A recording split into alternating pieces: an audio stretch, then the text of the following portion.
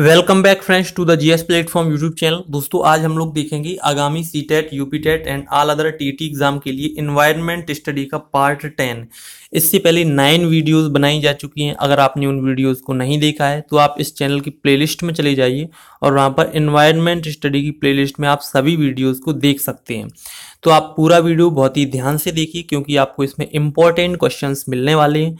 और अगर आप इस चैनल पर नए हैं तो चैनल को सब्सक्राइब कर लीजिए और पास वाले बेल आइकन को प्रेस कर दीजिए, जिससे आपको नई वीडियो का नोटिफिकेशन मिलता रहे। और वीडियो शुरू करने से पहले मैं आपको बता दूँ, मैं अन अकेडमी पर भी पढ़ाता हूँ तो आप अन अकेडमी का लर्निंग ऐप डाउनलोड करके, उसमें द जीएस प्लेटफॉर्म सर्च करके आप हमारे साथ अन अकेडमी पर जुड़ सकते हैं।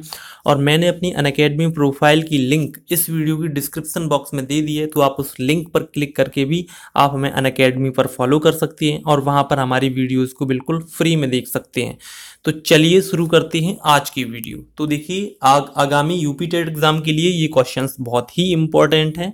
तो आप इन सभी क्वेश्चंस को सॉल्व करने की कोशिश भी कीजिए। तो चलिए देखते हैं यहाँ पर फ़र्स्ट क्वेश्चन है। निम्न में से किसी दक्षिण गंगोत्री के नाम से जाना जाता है। यानी कि दक्षिण गंगोत्री क्या है वो आपको बताना है। तो यहाँ पर देखिए चार ऑप्शन दिए गए हैं। इनमें जो राइट आंसर है ऑप्शन सी ठीक है? यानी कि भारत का प्रथम अंटार्कटिक शोध केंद्र। यानी कि जो दक्षिण गंगोत्री है, वो भारत का प्रथम अंटार्कटिक शोध केंद्र है तो ऑप्शन यहाँ पर सी सही हो जाएगा। यानी कि अंटार्कटिका महाद्वीप पर रिसर्च करने के लिए एक अंटार्कटिक शोध केंद्र की स्थापना की गई थी, जिसे बोलते हैं दक्षिण गंगोत्री। तो अब मैं आपको एक्स्ट्रा इन्फॉर्मेशन दे दूँ। इसकी स्थापना कब हुई थी? तो देखिए, इसकी स्थापना उन्नीस सौ तिरासी चौरासी में हुई थी, ठीक है? यानी कि जो पहला अनुसंधान केंद्र था, दक्षिण गंगोत्री, इसकी स्थापना उन्नीस सौ चौरासी में हुई थी। और भारत ने अपने दूसरे अनुसंधान केंद्र, जिसका नाम मैत्री था, उसकी स्थापना कब हुई थी? उसकी स्थापना सन उन्नीस सौ अठासी में 1988 में इसकी स्थापना हुई थी, ठीक है? और अंटार्कटिका पर भारत का जो तीसरा अनुसंधान केंद्र है, उसका नाम है भारती, और भारती की स्थापना कब हुई थी? ये हुई थी 2012 में। तो आपको पहले क्वेश्चन से इतनी इंफॉर्मेशन मिल जाती है। तो आपका फ़र्स्ट क्वेश्चन कंप्लीट हुआ नेक्स्ट क्वेश्चन देखते हैं क्वेश्चन नंबर सेकंड एजेंडा 21 निम्न में से किस क्षेत्र से संबंधित है? तो ये एक बहुत ही इंपॉर्टेंट पॉइंट है। तो देखिए, यहाँ पर जो चार ऑप्शन दिए गए, इनमें जो राइट आंसर है, एजेंडा 21 सतत विकास से संबंधित है। तो ऑप्शन यहाँ पर ए सही होगा। अब देखिए, सतत विकास है क्या, ये आपको पता होना चाहिए। तो देखिए जो जो इंडस्ट्रियलाइजेशन बढ़ता जा रहा है, औद्योगिकरण बढ़ता जा रहा है तो औद्योगिकरण के लिए जो पर्यावरण है, उसको काफ़ी नुकसान पहुँचता है। पर्यावरण में वन संसाधन, जल संसाधन, इनका हास होने के बाद, इनकी कमी होने के बाद ही इंडस्ट्रियलाइजेशन हो रहा है। तो सतत विकास में क्या है? कि एक ऐसा टारगेट रखा गया है कि पर्यावरण को कोई भी नुकसान ना हो और औद्योगिकरण की प्रक्रिया भी बढ़ती जाए तो इसी को सतत विकास कहते हैं। ठीक है तो मैं आपको बता दूँ, एजेंडा 21 सतत विकास के संदर्भ में संयुक्त राष्ट्र की एक स्वैच्छिक कार्य योजना है और इसका उद्देश्य 21वीं सदी में विश्व पर्यावरण को संरक्षित करना इसका लक्ष्य है और ये कार्य योजना वर्ष उन्नीस सौ बानवे में ब्राज़ील के रियो डी जेनेरो में संपन्न पर्यावरण एवं विकास पर संयुक्त राष्ट्र सम्मेलन के इस दौरान सृजित किया गया था। तो आपको सेकंड क्वेश्चन से इतनी इंफॉर्मेशन मिल जाती है। नेक्स्ट क्वेश्चन देखते हैं question number third Uttar Pradesh में प्रथम बायोटेक पार्क कहाँ स्थापित किया गया? अब ये बायोटेक पार्क क्या है? तो देखिए, यहाँ पर इस बायोटेक पार्क में विभिन्न प्रकार की पेड़ पौधों की जनजातियाँ पेड़ पौधों की जो किस्में हैं वो यहाँ पर मिल जाती हैं। तो उत्तर प्रदेश का जो प्रथम बायोटेक पार्क है वो कहाँ पर है? लखनऊ में। तो ऑप्शन यहाँ पर आपका सी सही हो जाएगा। तो देखिए, उत्तर प्रदेश में बायोटेक्नोलॉजी पार्क की स्थापना लखनऊ में की गई है। इसकी नींव कब रखी गई थी, ये भी आपको पता होना चाहिए। तो इसकी नींव रखी गई थी इक्कीस मई सन दो हज़ार तीन को, ठीक है? 2003 को इसकी नींव रखी गई थी और इसके द्वारा काफ़ी क्षेत्रों में ध्यान दिया जाएगा, जैसे स्वास्थ्य देखभाल, कृषि बागवानी, पर्यावरण, औद्योगिक अनुप्रयोग और ऊर्जा से संबंधित बातों पर इस पार्क में ध्यान रखा जाएगा। तो ऑप्शन यहाँ पर आपका सी सही हो जाएगा। नेक्स्ट क्वेश्चन देखते हैं। Question number four, Medha Patkar का नाम किस आंदोलन के साथ जुड़ा हुआ है? तो देखिए, जो आंदोलन यहाँ दिए गए हैं, बहुत ही इंपॉर्टेंट हैं। जैसे आपसे चिपको आंदोलन के बारे में पूछ लिया जाता है, उसी प्रकार से यहाँ पर मेधा पाटेकर का नाम भी बहुत इंपॉर्टेंट है। वो किससे संबंधित है? तो इसका जो राइट आंसर है, नर्मदा बचाओ आंदोलन। ऑप्शन यहाँ पर बी सही हो जाएगा। यानी कि जिस प्रकार से चिपको आंदोलन के माध्यम से वनों को बचाने का कार्य किया गया था, उसी प्रकार से नर्मदा नदी को बचाने का कार्य मेधा पाटेकर ने किया था और उस आंदोलन का नाम था नर्मदा बचाओ आंदोलन। तो ऑप्शन यहाँ पर बी सही हो जाएगा। ध्यान रखेंगे, ये जो आंदोलन के प्रतिपादक हैं, वो एग्ज़ाम में पूछ लिए जाते हैं। इसलिए आपके लिए बहुत ही इंपॉर्टेंट क्वेश्चन है तो आप इसको ध्यान रखिएगा। तो आपका फोर्थ क्वेश्चन कंप्लीट हुआ नेक्स्ट क्वेश्चन देखते हैं। क्वेश्चन नंबर फाइव विश्व तंबाकू निरोध दिवस किस वर्ष मनाया जाता है? यानी कि तंबाकू को यूजलेस करने के लिए, तंबाकू को रोकने के लिए जो दिवस मनाया जाता है, वो कब मनाया जाता है प्रतिवर्ष? तो इसका आंसर हो जाएगा इकतीस मई ऑप्शन डी सही हो जाएगा। तो प्रत्येक वर्ष वर्ल्ड नो टैबैको डे संयुक्त राष्ट्र संघ के द्वारा प्रतिवर्ष इकतीस मई को मनाया जाता है। तो ये भी एक तरह से इन्वायरमेंट स्टडी से रिलेटेड ही क्वेश्चन है और एक बार एग्ज़ाम में आ भी चुका है, इसलिए यहाँ पर इस वीडियो में इसको शामिल किया गया। तो ये आपका फिफ्थ क्वेश्चन कंप्लीट हुआ। उम्मीद करते हैं कि ये जो सभी क्वेश्चन हैं, वो जितने भी वीडियो में जो क्वेश्चन दिए गए हैं, वो आप इसको, इनको कवर कर रहे होंगे।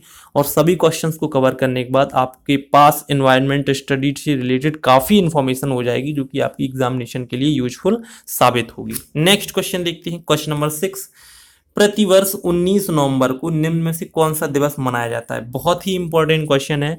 और पिछले वर्ष, यानी कि अभी हाल ही में जो सहायक अध्यापक लिखित परीक्षा आयोजित हुई थी, उसमें ये क्वेश्चन पूछा गया था कि ये जो 19 नवंबर है, इस दिन कौन सा दिवस मनाते हैं? तो इसका आंसर है विश्व शौचालय दिवस ऑप्शन सी सही होगा।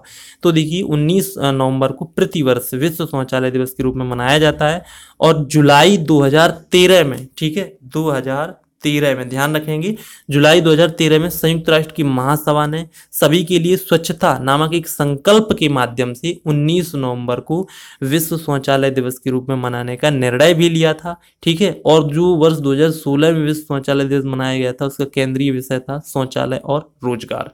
तो आपका सिक्स क्वेश्चन कंप्लीट हुआ। नेक्स्ट क्वेश्चन देखते हैं क्वेश्चन नंबर सेवन भारत के प्रधानमंत्री ने स्वच्छ भारत अभियान आधिकारिक रूप से कब प्रारंभ किया था? तो यहाँ पर चार ऑप्शन दिए गए हैं। इनमें जो राइट आंसर है ऑप्शन सी सही हो जाएगा गांधी जयंती के अवसर पर। यानी कि जो स्वच्छ भारत अभियान चल रहा है, अभी भी चल रहा है और ये बड़े बड़े पैमाने पर इसका विस्तार किया गया है। तो ये कब शुरू किया गया था? तो देखिए, गांधी जी की जयंती पर 2 अक्टूबर सन 2014 को इसकी शुरुआत की गई थी, ठीक है? 2014 में गांधी जी की जन्म दिवस पर इसको शुरू किया गया था और इस अभियान का उद्देश्य क्या है? ये आपको पता होना चाहिए। तो देखिए, इसका उद्देश्य है वर्ष 2019 में गांधी जी के जन्म की 150वीं वर्षगांठ तक स्वच्छ भारत की उनकी सपने को पूरा करना इसका लक्ष्य रखा गया है। ठीक है? तो आपको इस क्वेश्चन से इतनी इंफॉर्मेशन मिल जाती है। नेक्स्ट क्वेश्चन देखते हैं। Question number eight Indian Institute of Ecology and Environment निम्न में से कहाँ पर स्थित है? तो देखिए, पर्यावरण को बचाने के लिए एक संस्थान की स्थापना की गई है। तो वो कहाँ पर है? तो देखिए, Indian Institute of Ecology and Environment जो संस्थान है, वो नई दिल्ली में स्थित है। तो ऑप्शन यहाँ पर ए सही हो जाएगा, ठीक है? और इसकी स्थापना कब हुई थी? यानी Indian Institute of Ecology and Environment की स्थापना कब हुई थी? आपको पता होना चाहिए। तो इसकी स्थापना वर्ल्ड एनवायरनमेंट डे, यानी विश्व पर्यावरण दिवस के अवसर पर पाँच जून 1980 को इसकी स्थापना हुई थी।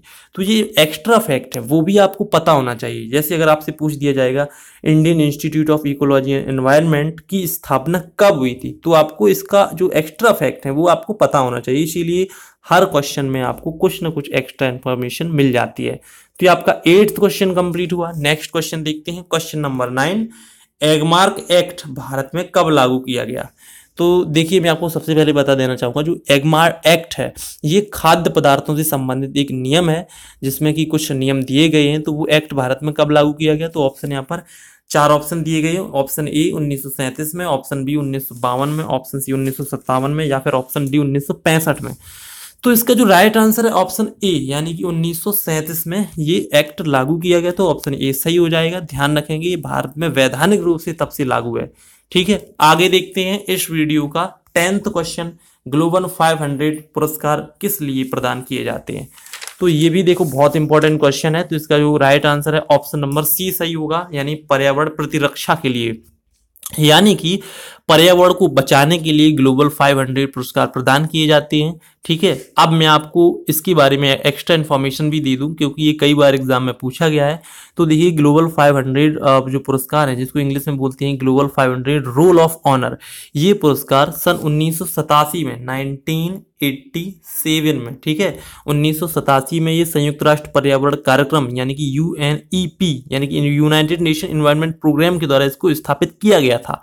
और ये पुरस्कार पर्यावरण उपलब्धियों के लिए व्यक्तियों और संगठनों को प्रतिवर्ष 2003 तक प्रदान किए गए। और 2003 में भारत के डॉक्टर बिंदेश्वर पाठक को ये पुरस्कार दिया गया था। आपको पता होना चाहिए, बिंदेश्वर पाठक सुलभ इंटरनेशनल के संस्थापक हैं। और 2003 के बाद, वर्ष 2005 से यूएनईपी e द्वारा इनका नाम बदलकर Champions of the Earth award कर दिया गया, ठीक है? और वर्ष 2013 की चैंपियन ऑफ़ अर्थ का अवार्ड था, वो भारतीय मूल के अमेरिकी वीरभद्रन रामानाथन को ये पुरस्कार प्राप्त हुआ था, ठीक है? और 2016 में चैंपियन ऑफ़ द अर्थ का पुरस्कार मुंबई की अफरोज शाह को प्रदान किया गया था। ठीक है? तो ध्यान रखें, इस पुरस्कार का नाम भी बदलता रहा है, लेकिन ओवरऑल इसका जो नाम है, वो है ग्लोबल 500 पुरस्कार, और ये किस लिए प्रदान किया जाता है? पर्यावरण को बचाने में जो व्यक्ति या फिर जो संस्थाएँ योगदान देती हैं, उनको ग्लोबल 500 पुरस्कार प्रदान किए जाते हैं। तो आपका टेंथ क्वेश्चन कंप्लीट हुआ। उम्मीद करते हैं इस वीडियो की जो दस प्रश्न थी, आपको समझ में आई होंगी और बहुत ही इंपॉर्टेंट क्वेश्चन है। इनको आप अच्छी तरह से नोट्स बनाते चाहिए कवर करते चलिए, क्योंकि यहाँ पर आपको इंपॉर्टेंट क्वेश्चन ही प्रोवाइड किए जाते हैं। तो अगर आपको ये वीडियो पसंद आई तो प्लीज़ इसको लाइक ज़रूर कीजिए और लाइक करने के बाद अपने किसी फेसबुक या व्हाट्सएप की एजुकेशनल ग्रुप में इसको शेयर ज़रूर कीजिए। और अगर आपने अभी तक हमारी व्हाट्सएप अगर आपने अभी तक हमारे फेसबुक पेज को ज्वाइन नहीं किया है तो इस वीडियो के डिस्क्रिप्शन बॉक्स में जाइए और वहाँ पर फेसबुक पेज की लिंक पर क्लिक करके आप हमारे फेसबुक पेज को भी ज्वाइन कर सकते हैं, जहाँ पर आपको कॉम्पिटेटिव एग्ज़ाम के लिए क्वेश्चन मिलती रहते हैं। तो मिलते हैं अगले वीडियो में, तब तक के लिए नमस्कार।